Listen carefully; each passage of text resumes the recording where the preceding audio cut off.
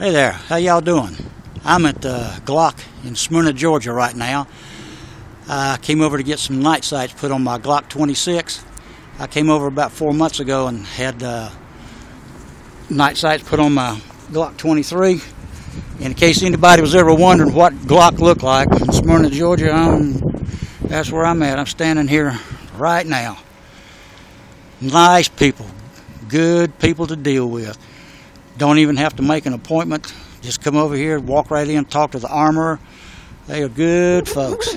But here's what uh, here's what Glock in Smyrna, Georgia looks like. That's a big place.